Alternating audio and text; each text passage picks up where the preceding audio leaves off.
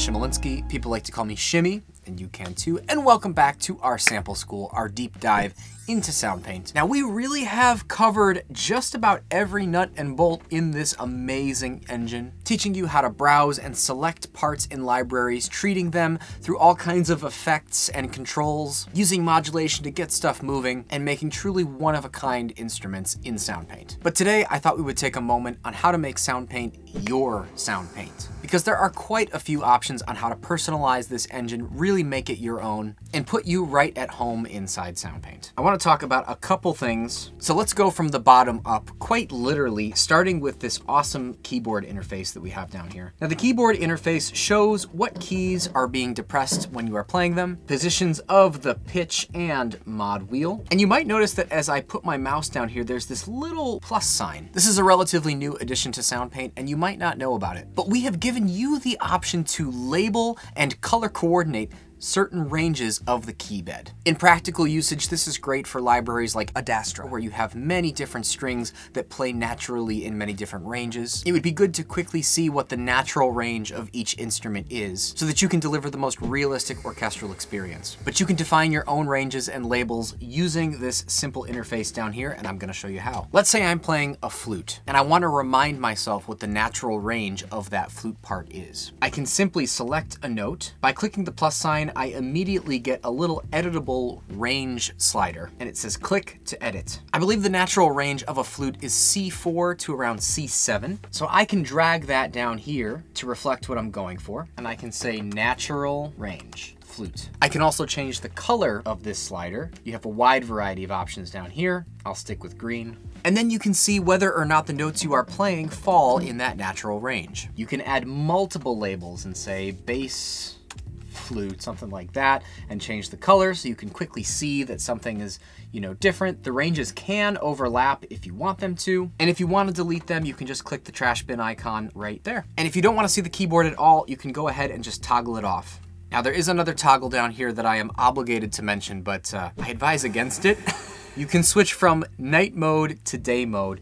This is night mode. I almost always use night mode, but we here at SoundPaint like to give you options. And we recognize that maybe your studio, your screen, your interface, you want a brighter pop, you want a more day look. You can do that by simply toggling over to day and everything becomes very bright. Down here you also have some CPU related stats here, and as we've discussed before, a total voice count and MIDI CC velocity and number. This is your mixer and you can see in real time when you load a part that the bars pop up and you can see exactly how much volume is coming into your left and right channel. And yes, you definitely can max it out. And when you see red, it also turns red up here on the volume slider. To reset that, you can just kind of give it a little wiggle and you're good to go. But if you ever hear distortion in your mixes, if you're ever hearing distortion in your instruments, take a peek down here and up here to see if you see any red. If you do, you can adjust the volume control up here to kind of counter it or you can adjust all the instruments individually to give you that perfect gain staging balance. Next, I'd like to take you to the settings menu, which is this little hamburger menu up here. So in the master settings menu, you have access to a lot of different parameters and account information. Clicking on account will make sure that you have access to your key, the type of license, and your username. You can log out if for whatever reason you have multiple users with different accounts or you can click Manage Account, which will bring you to the SoundPaint webpage to do things there. Moving on, you have audio MIDI settings, and this is the place to go if you are pushing keys and no keys are registering on the virtual keyboard. If you are pushing keys and you see sound is happening, but you cannot hear sound, maybe the pitch doesn't quite sound the way it should, this is your area. Make sure that you have the correct output if you're using an interface, it's gonna be the name of that interface, or if you're using headphones or speakers, it will either say built-in output or headphones, and you can test to make sure everything's working by pushing this button here. You can set your sample rate and audio buffer size. It's just making sure that all of your settings with your DAW and interface are cooperating with each other. If you have multiple MIDI controllers connected and you wanna only select one, you can find it here, or if you want multiple, you can obviously do that too. MIDI channel lets you select which MIDI channels SoundPaint is responding to. Currently it's set to Omni, so that's all. But if you're a big MIDI channel user and you have controllers sending different channels to different devices, you can specify which you'd like SoundPaint to respond onto here. If you're using SoundPaint as a standalone program, not inside of a DAW, you can specify what you'd like the BPM that everything is synced to in this menu. Moving right along, we have some awesome user interface preferences. Let's click on show this again. Every once in a while, you will get a pop-up window when you make a decision in SoundPaint that you might not want to make, be it replacing a program, clearing a program, checking for new purchases, or seeing a pop-up about something that was saved in a newer version of SoundPaint. You can toggle those pop-ups on and off here, or when they happen, there's an option to say, don't show this again. Then you can change the font sizes. I'm gonna go ahead and load a program here so that you can see everything in action. Let's head back and change the font size. You can change the browser item font, the program name font, and the part name font. Just a really cool way to kind of customize things and make them your own. It can also allow you to avoid the ellipses here so that you can see the full part names. Next, we have change the window size, which allows you to change the window size.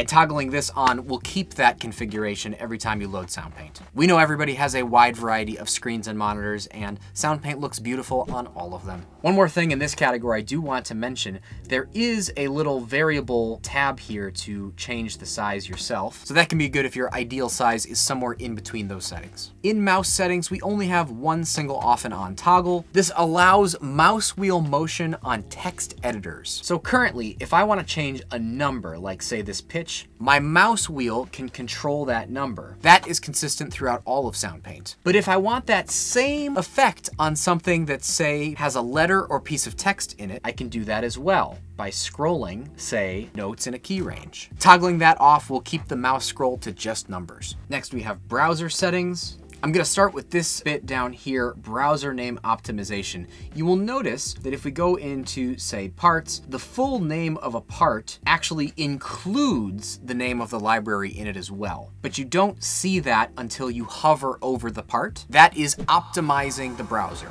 If we head back into browser setting and we turn optimization off, you will see that now the parts are listed with their library name as you would see it in the part window when you load it. And I typically leave static browser on, which means you manually can switch between parts and programs. But if we change this to adaptive, if I load a program and I'm in the program section here, and then I start dealing with the part, I click on the part, you will notice that it changes from program to part. Let's do that one more time.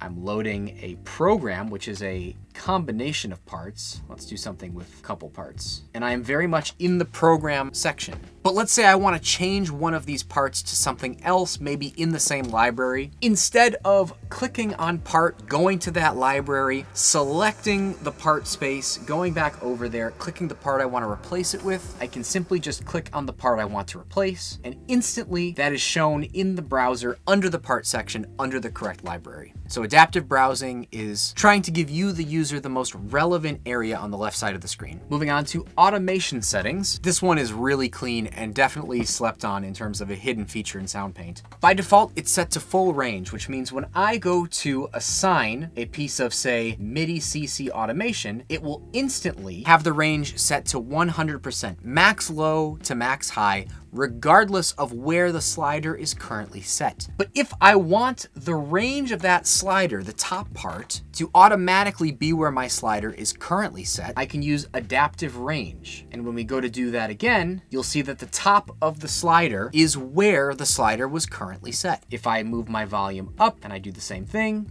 boom, the top of the range is always where you currently have the parameter set. This is a great one. In the automation video, remember how I was dragging it from 100% to where I had it set, the dashed line? SoundPaint can do that for you. Moving right along to manage library and part directories. Now, if you've ever found yourself in SoundPaint wondering why a library isn't showing up, I bought this, I downloaded this, where is it in SoundPaint? This is where you go to sort that out. You will see the directories that you have in your browser. If you have multiple drives with different libraries, both should be there. You can trash a library if it's reading a drive where SoundPaint stuff doesn't exist, but the button to push is full rescan. Say it with me, full rescan. This will take all the drivers in your list and reformat your library so that it's encompassing everything that exists on your drive.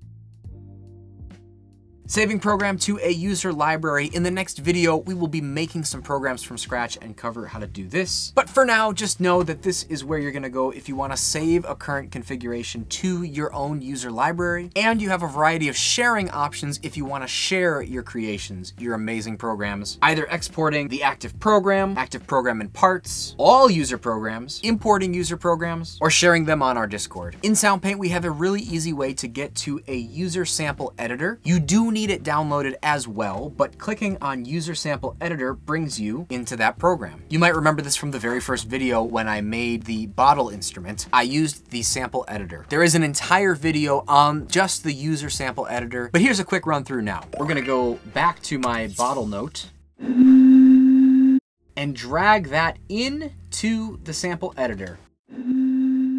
I can affect the attack, decay, sustain, and release of my part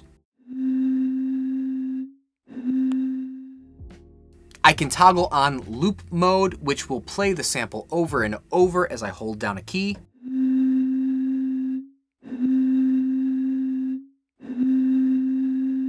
I can add multiple recordings on each note if I want, or as I did in the first video, just stretch the range the full length of the key bed and let it speed up or slow down the recording until I achieve my desired pitch.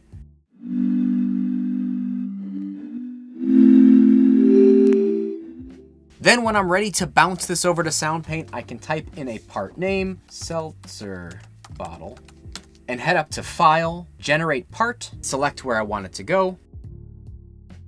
Then when we head back into SoundPaint and click on the user library as opposed to the factory library which we've been in, you'll see that it shows up and I can load that part right into SoundPaint.